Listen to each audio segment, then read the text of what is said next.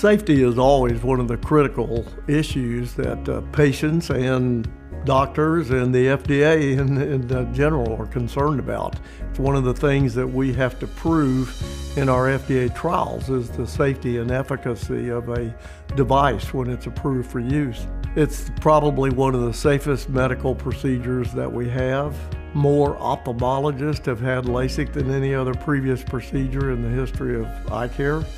Your chances of going blind, I call that the big bad B word, uh, more likely to get struck by lightning, killed in a federal aviation accident, or killed on an interstate freeway. So that sort of puts it in perspective. The top three issues that we are always concerned about are number one, dry eyes, number two, over or under response to the laser energy, and number three, obviously, infection.